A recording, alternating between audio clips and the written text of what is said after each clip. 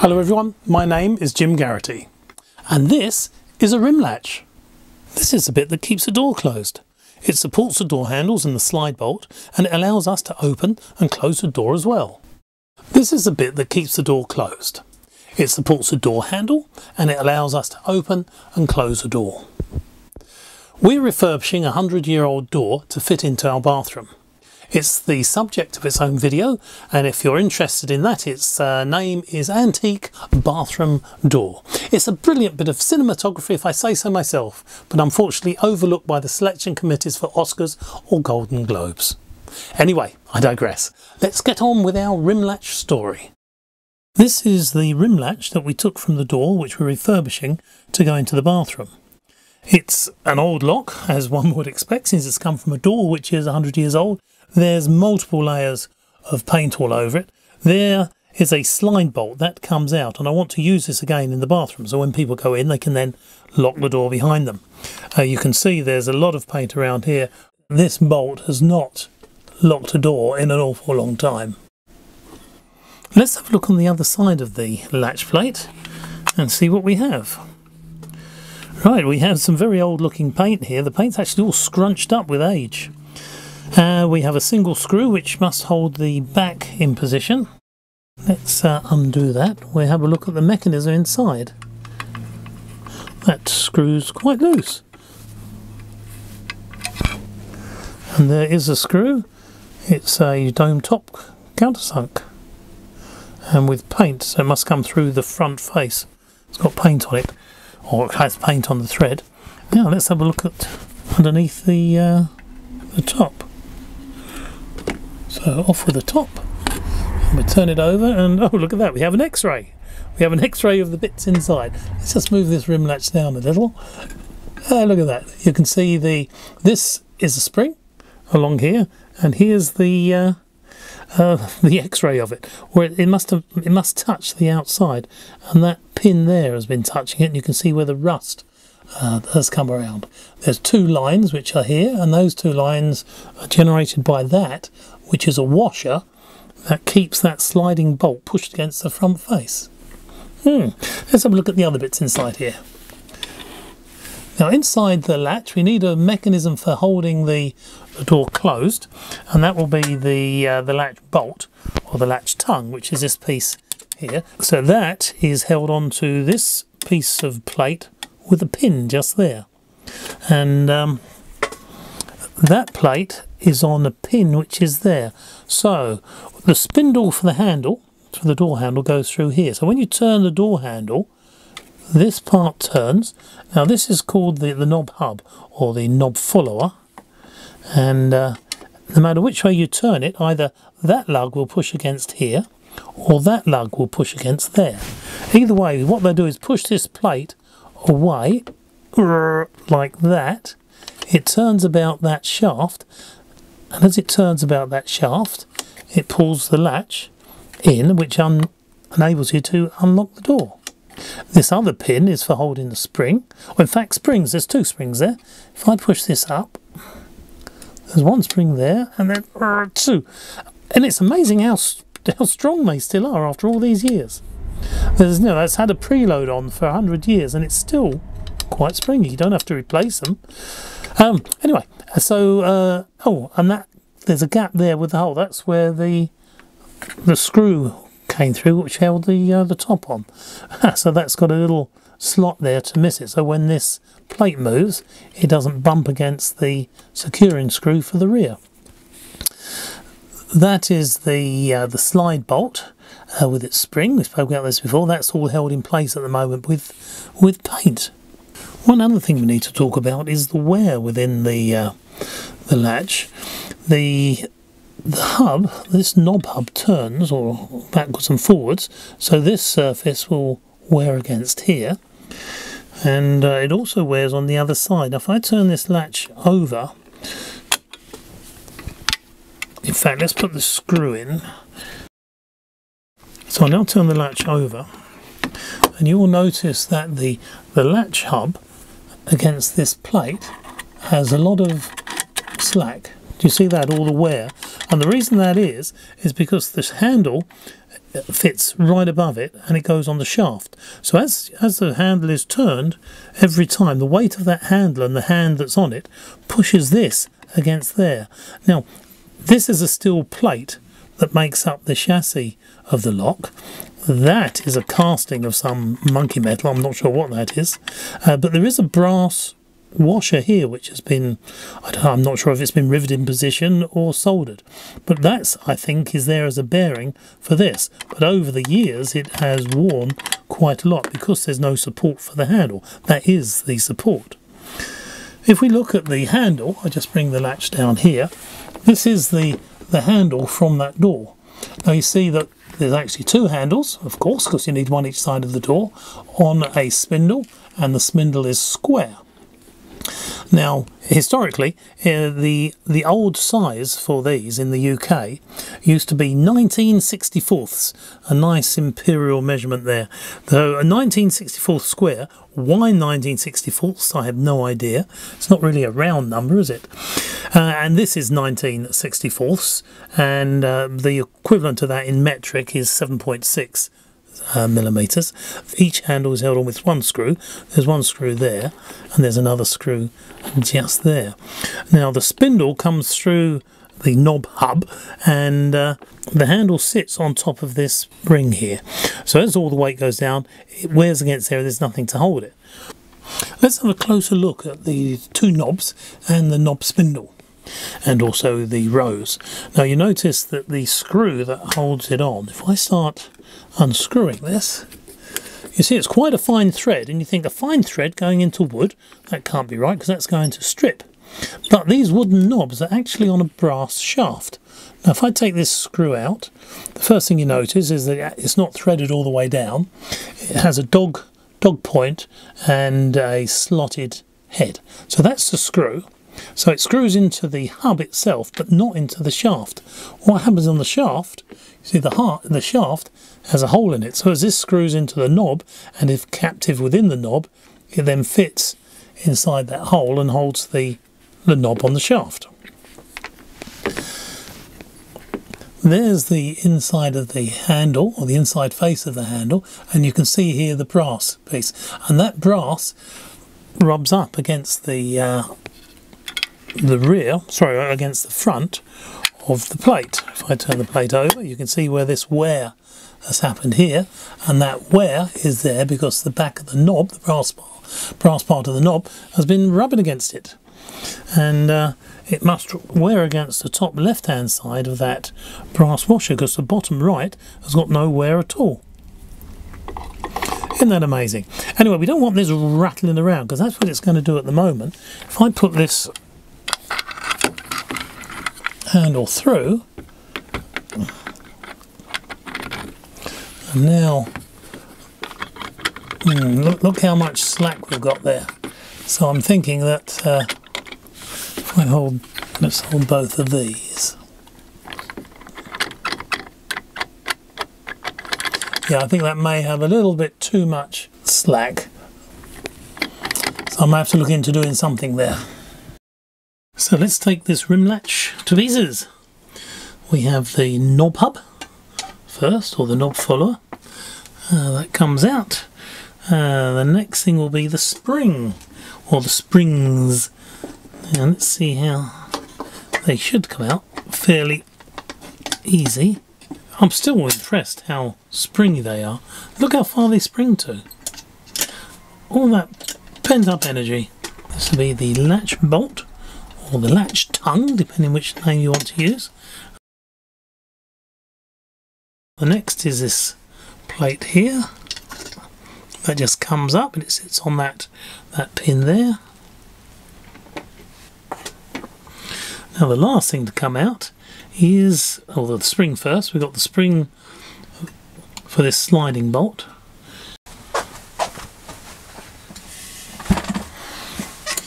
And now a little hammer.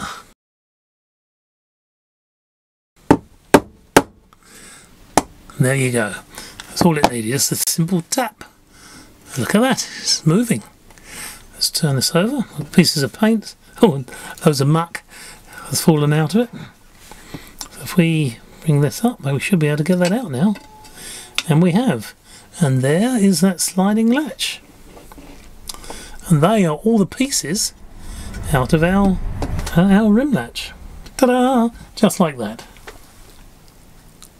I want to get rid of all the paint now from the the lock case and also the backing plate and I've bought some paint stripper.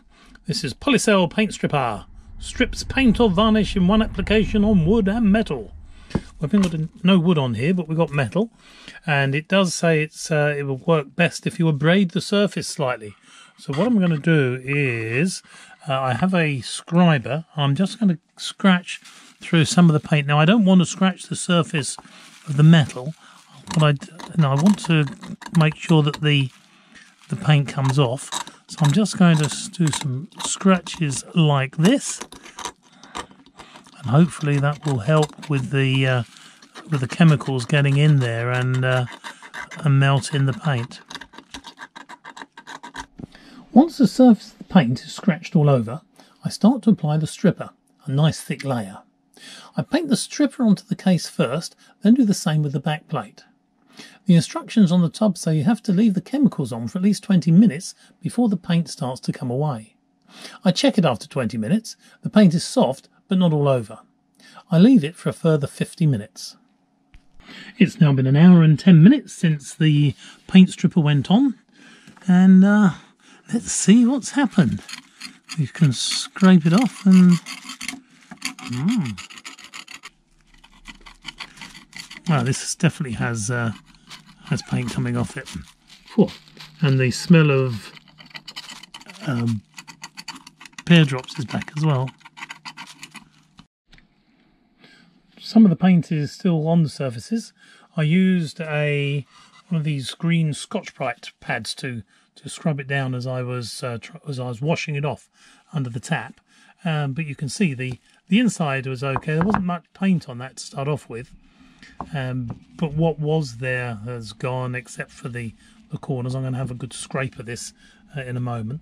The top or the, the back of the um, uh, the lock or the latch is you can see it was going it was soft and where I've scraped it it started to come away then as I started to wash it, it seemed to have hardened up anyway I'm going to get to this now with some wire wool and uh, let's see if that cleans up the surface the paint didn't want to come off very easily, so I've uh, I've put it in the vise. I use the heat gun. As it starts to warm up, then the paint comes off fairly easy. Uh, you can see the front now is fairly clean. I've got to go over it with wire wool, I think, just to uh, polish it up. And uh, I'll get to the rest of the, the case. So heat it up with the heat gun as I'm using the, um, uh, the wire brush. And that seems to clear the paint. Right, I'll carry on. All the parts of the rim latch have now been cleaned. All the internal parts are in this tub. Let's push that away and have a look at the housing of the lock. The lock is actually made by Union. You can see the manufacturer's name is just there, U-N-I-O-N, Union. I first saw this on the inside and I was trying to work out what it said or what, what the picture was because you, you, can't see it but of course it's backwards on the inside and uh, it, it did actually dawn on me but it took a while now, all you see, all the paint has, uh, has gone. Underneath that household white paint, uh, or rather yellow paint, uh, was black. It could even have been that old crinkle finish paint. But anyway, all that's all that, that's gone. The black that you see is the the oxide on the metal. I think it must have been black to uh, to start off with before it was painted. Now I'm I'm leaving that on there. I've gone over this with wire wool and made it shiny in places on purpose. And the reason I did that is because I want to keep it looking like this and then varnish over the top of it. And that will make it look an old lock which is what it is. I could go over this with um, with wire wool and uh, emery cloth and make it all nice and shiny but I don't think it would look so nice. So the idea now is to try and make it look its age. Excuse me. Okay let's uh, Let's do a dry fit. We're going to put it all together. I'm not going to use any lubricant because it's coming apart again. I'm just interested to see uh, what it looks like.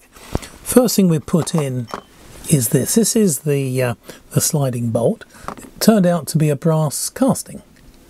and that's cleaned up quite nicely and that fits in the housing just there in that slot and now you see it goes backwards and forwards nice and easy that's the part that was painted in before yeah so that goes in. The next thing to go on is the operation plate. So now it has a fulcrum point just there so that's what it turns on. And there's this other pin here. So we've got three pins. That pin is the fulcrum point of this plate. That is a pin which is connected to the to the case and that pin is connected to this operation lever. And it's between those three pins that the the spring acts before we get to the spring let's have a look at the the knob hub or the knob follower which is this piece here. Now this is quite interesting because if you notice it has it has these two lugs sticking out and this lug is longer than that lug. So keep that in mind. And now on this operating plate when the handle is turned clockwise this handle follower turns clockwise and that shorter lug pushes against that plate there if you turn the knob anti-clockwise then the longer plate pushes against that lug there now when the spring is in place, this is being pushed in that direction through the action of the spring here. If I want to push this plate here, it's easier to push at that point than it is at that point because this point is further from the fulcrum point. So if it's further away, you've got more leverage and a better mechanical advantage. So it's easier to push the plate there than what it is here. Now going back to this, this knob, its fulcrum is in its centre and when you turn it clockwise that has a, a better mechanical advantage because it's shorter, it's closer to the, the centre and this one has a less mechanical advantage because it's further to the centre. So by having the longer lug here it takes more effort to push it but the plate uses less force at this point because it's got a better mechanical advantage. So what this is for is so when you turn the handle either clockwise or anti-clockwise, these mechanical advantages and disadvantages add together and it means that it, it gives more of a an even turn. So if you turn it one way or the other, it feels the same. Yes, very clever. And uh, I hope you understood that.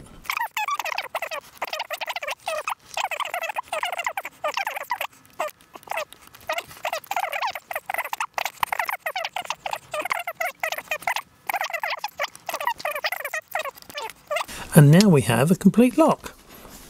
Ta-da! So that's the sliding latch that works. And if I turn that with the handle shaft, that would bring the bolt backwards and forwards. So it's all working, it's all cleaned up.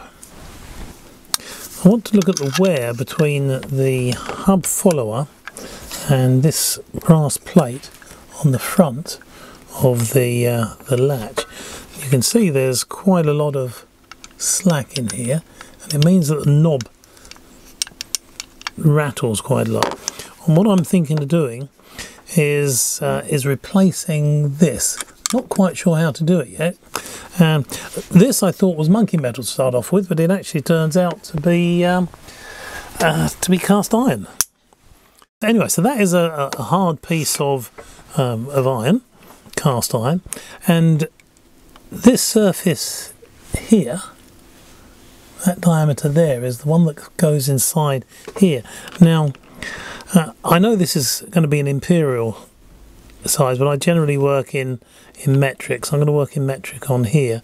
And uh, you'll notice that we've got 14.39 14.37 14.34 so it's all 14.3 millimeters in diameter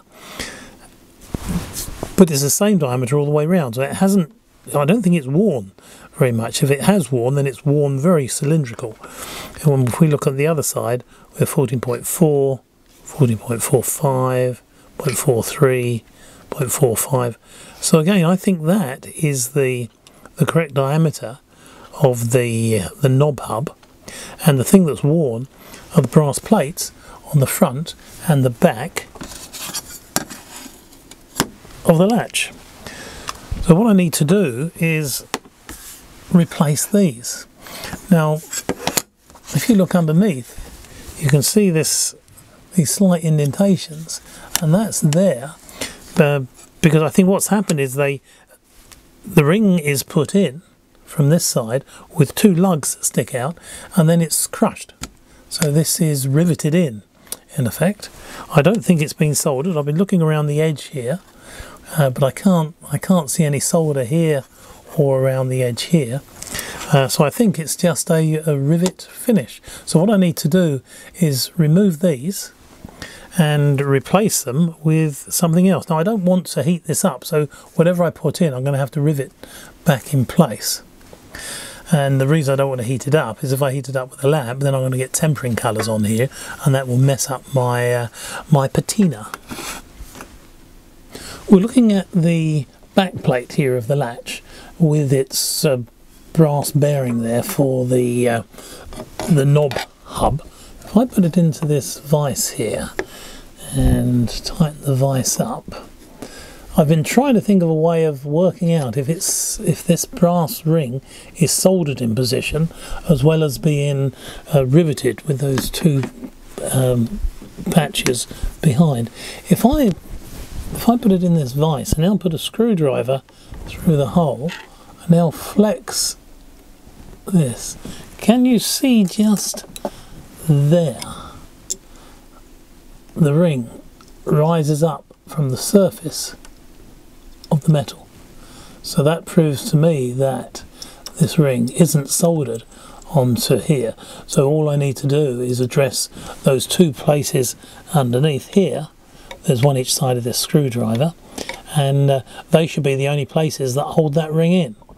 Now you see here, these are the the two tags that have been squashed down and there are, there's a little a hole pattern here which is uh, from the other side of the vise where it's come down and, and squashed it together. And those little holes are repeated over here as well. So the whole of this surface uh, has been squished. I assume it was squished onto a flat surface on this side because there's no pattern pattern here. So if that's been squished, perhaps what I ought to do is just file these raised sections off. See what happens there. Right, I need a bit of wood in the vise. There's wood. I've I've got a stack of wood which I keep at the back of the uh, the desk here, and uh, this is my favourite bit. I started using this look in 2008. That's like 18 years ago now. What I'm using it for here is just to hold the back plate, and the back plate's against that side of the vise. Because what I want to do is use this cold chisel and try and knock off the squashed piece of the bearing that's on this plate.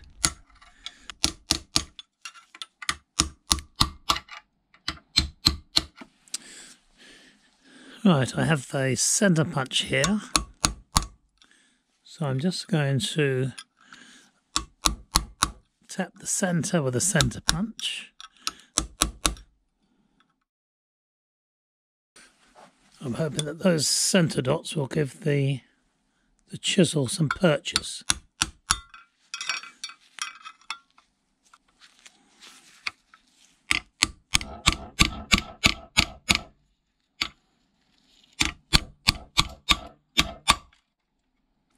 Gone quite deep. I'm down a couple of millimetres and I'm still in brass. So I think this must be a rectangular keyway going right the way through.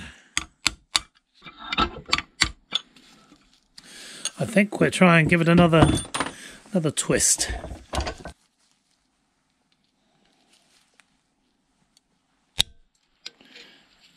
And it has gone. There we go.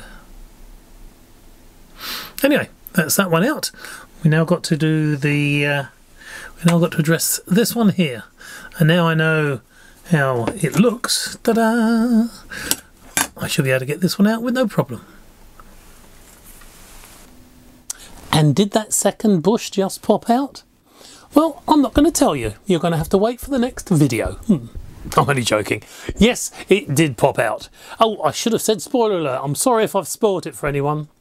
Uh, I made two new bushes on the lathe, which is just behind me here, and fitted them into the rim latch body. It really, really is a must not miss episode. You've got to see it.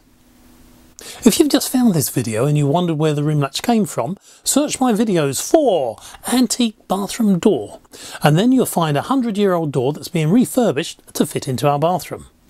That's where the latch came from, and that's where the latch is going to go back to. Now then, could you do something like this? Of course you can. Take care everyone, I'll see you next time.